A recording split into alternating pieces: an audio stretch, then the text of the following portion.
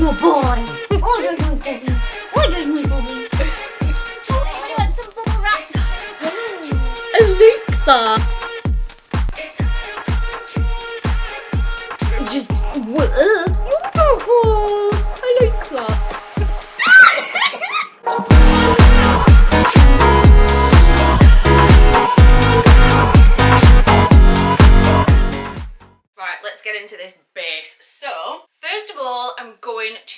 Prime my face. Now, because I'm going to be using a matte foundation, I do have drier skin, but I kind of prefer to, most of the time, have a more matte texture to my skin. So I tend to really, really go to town on using really good quality cleansers and moisturising ingredients, um, but then still use a matte-ish foundation. But the key to that is then um, lots and lots of hydration to your skin beforehand so that's really really really important. Um, and I then like to add my glow. So I don't like to be totally matte and flat but I like my foundation to be flat because I tend to find that stays on with me a bit better. Um, I like that. So I'm going to be using the New Revolution Hydrate Primer. Um, there's been a, a range of new primers coming out from Revolution at the minute and this is one of the ones that I've got. Um, I do have the pore blurring as well um, and that just tends to uh, depend on what kind of skin day I'm having, what kind of foundation I'm using, what kind of look I'm going for. But today because I'm using the more matte foundation, um, I'm going to be using the Hydrate Primer. I've ridiculously cleansed and moisturized and then we're going to go in with this as well. As you would expect it's a bit more um liquidy than the other primers uh, definitely more so than a more silicon based primer.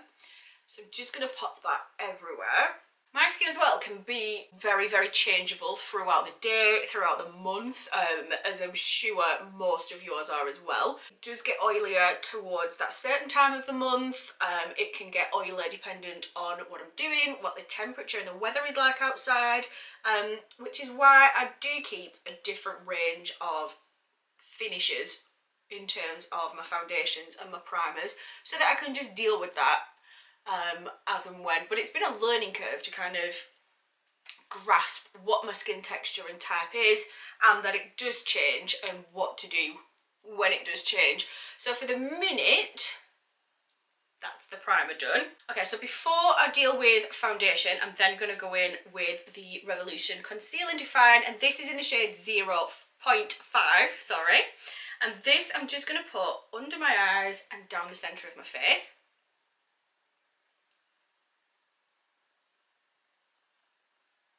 And I use this to kind of mark out my eyes as well. Obviously I've done my eyeshadow, that is for another video, so if you want to see that one, go and have a look. And if it's not there yet, make sure you're subscribed. Okay, so I'm just going to very gently just pat that in with a damp beauty sponge and it just kind of brightens up that area before we then put foundation over the top of it. So we're kind of creating the dimension before we even get going with the foundation. Okay, so at this point my boyfriend will be like, um, is everything okay? If they're like that, you're doing it right. Okay, so now it's time for foundation and I'm using, again, the Revolution New Matte Base Foundation.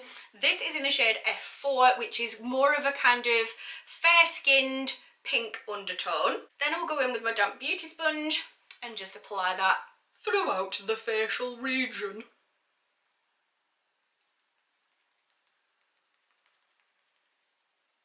Look at that coverage. Ooh.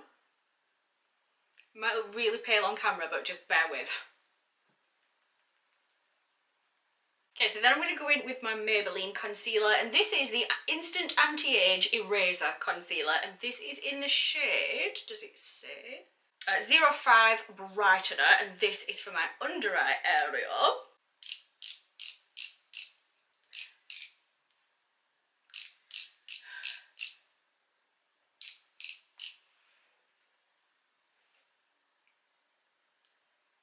oh my god I love this applicator. So this is like a peachy pink colour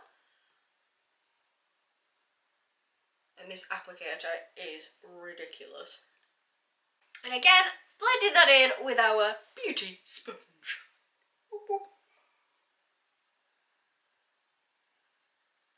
This for me is kind of brightening, filling in any of that kind of creasiness or those fine lines that we all get. Um, and just starts to add a little bit of that dimension back. Like so. Look how brightening that is. Just look at that. Gorgeous. Okay, so next I'm just going to set under the eye area with my Revolution Lace Powder.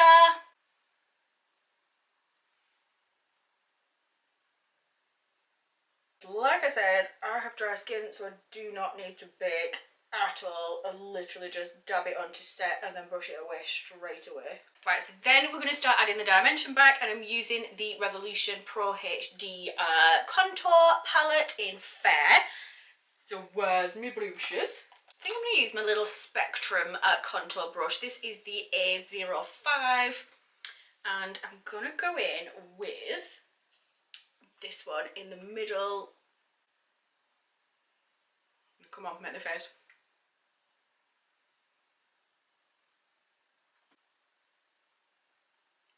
Oh, look at that already.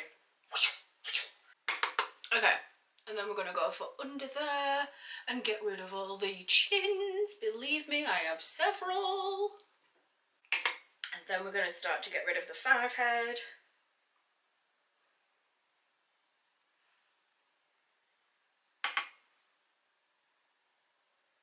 Okay, and then just be what's left on the brush, squish it down.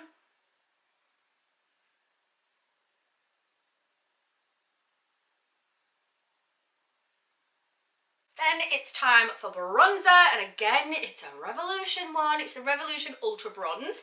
Um, it's totally matte, there's no shimmer to it whatsoever, which is part of the reason I absolutely love it. And I'm going to use my big Spectrum, is it the A? Yeah, the A01 there.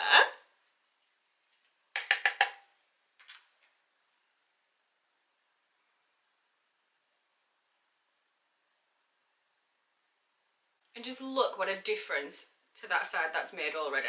It's kind of getting rid of that harsh um, paleness that I have. And I like to, once I've kind of stamped it on where I want it, I like to kind of swirl the same brush round, no extra product at all. Okay, so once I've done that kind of stage, once I've got up to that kind of stage in the base, um, I like to give a quick spritz of the Revolution Hyaluronic Fixing Spray. We haven't finished yet, do not worry.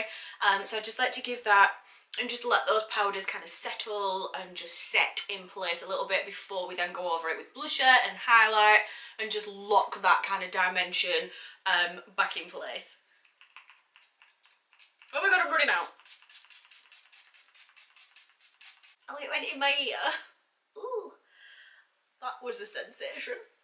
Hopefully you can see as well, it's not got that kind of harsh brightness, but it's more just highlighted down the centre of the face. And we got those kind of dimensions coming back a little bit as well. Okay, so once that is dried and in place and set, I like to then go in with blusher. And I'm using the Revolution Sugar and Spice palette for my blush there. Um, where's my favourite blush brush? There it is. Can't remember where I got this from. Um, I think it was, yeah, I can't remember. I literally can't remember, but it's my favourite blusher brush. So I'm going to use, um, just going to very, very lightly use um, this one or this one. I think this one, um, which is just kind of more of a muted kind of mauvey pink. Not a huge blusher girl. Obviously I do like to have a flush of colour on my cheek. Um, I'm more about the highlight and the highlighter I've chosen today is a little bit tinted as well so yosh so I don't want like a big pink splodge going on there and as well because I've got kind of a purple eye look on I want that to stand out and be the star so I don't want any blusher that's going to detract from that so this is probably not coming across very well on camera but it just gives a little bit of little flush of colour there. And the same technique, I'm kind of stamping it on and then blending it where I want it to go. And because again, I've got such a small face, I like to elongate my face and rather than put it in the apples of my cheek, which kind of smushes my face a little bit, I kind of give it that swoop up to my cheekbones there. Right, arguably my favourite stage in any makeup look is highlighter and today I've picked the I Heart Revolution Bleeding Hearts highlighter. If you've not seen these, oh my god, go and look at the website, they're beautiful. So it's the Heart Highlighter Bricks from I Heart Revolution and this one is that beautiful blush pink but with that gold veining through it. Oh my god, it's absolutely gorgeous. My favourite brush to apply this with is from Revolution and it's one of their, I think this was the metals? No, this was the champagne brush collection and this one is just absolutely, can you see there? I don't know, it's just perfect with this highlighter and it's my favourite one. So just dab, dab, dab, dab, dab.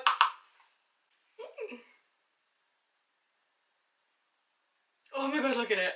Oh my god, look at it. Oh my god, look at it. Ah! Oh, can you see?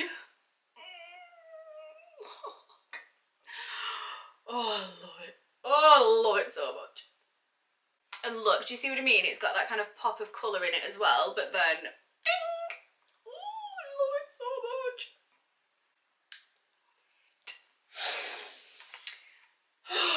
it's the best bit. It's the best bit.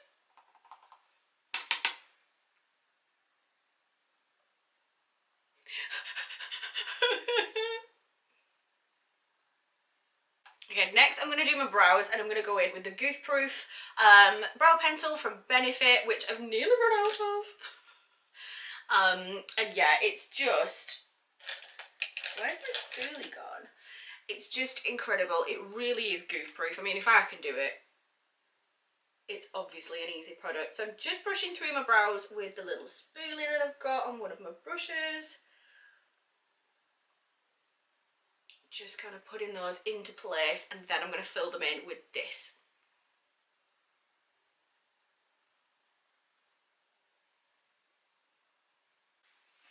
Okay, well that exercise just proved my eyebrows need doing. Um, righty ho. So, what's next? What's next? Oh yes, liner. Okay, so my weapon of choice when it comes to liner is the Revolution Renaissance Flick Liner. This is absolutely amazing. Particularly if you like doing a winged liner. So cross your fingers that this goes well. But yeah, this is my favourite, favourite eyeliner.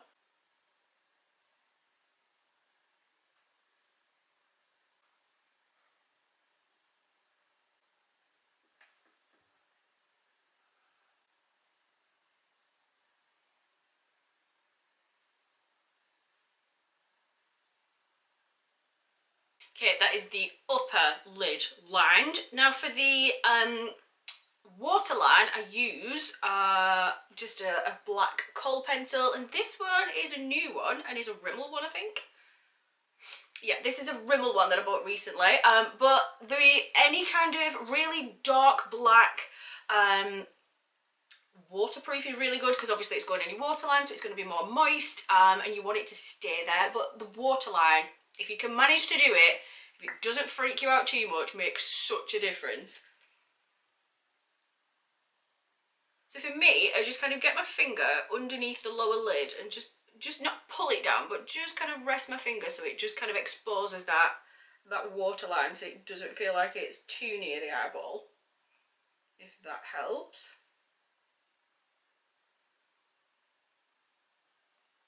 And just run your pencil all the way along.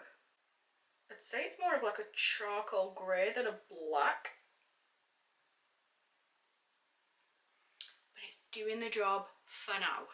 Okay, so that is basically how I get the base to go down. Um, at this point, when you've done your eyeliner, if you need to, if you've kind of had a bit of a wobble on the underside, you can kind of go back in with more concealer and just tidy it up. But thank the stars, today. Mine isn't too bad and it's actually gone fairly well. So I'm not going to go in and clean it up and do anything too drastic with it. So that's kind of the base down.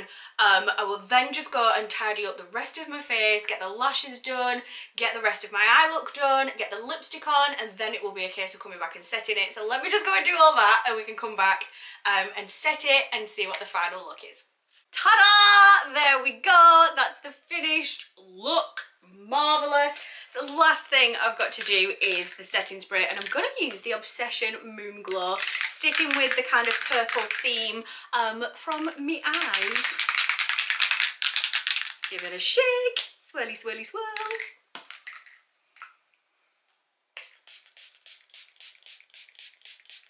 It's one of those that you don't realise you're spraying it for ages because it's such a fine mist so then you're actually just covered in sparkle which is wonderful for me. Um, but just look at the sheen that's left on my face. I do have a hell of a lot of highlighter on um, but yeah I love it. What do you think of the eye look? Uh, keep your eyes peeled for that being on my channel. Um, as well if you want to see how I went and got that but that today was um, how I get my base and what kind of products I use and what process I go through um, to achieve this whatever this is. Um but yeah that's me done for the day. I hope you've enjoyed this video. If you have make sure you go and let me know in the comments and let me know what your favorite part was. Do you use any of these products? Have you got any tips you can pass on to me or each other in the comments? That would be wonderful. Make sure you give this one a big thumbs up. Make sure you subscribed. Make sure you're sharing this video with all your friends. And make sure you have an amazing day whatever it is you're doing next. I love you lots. Thank you for watching. Bye no boy. Order no Bobby. Order me Bobby. Alexa.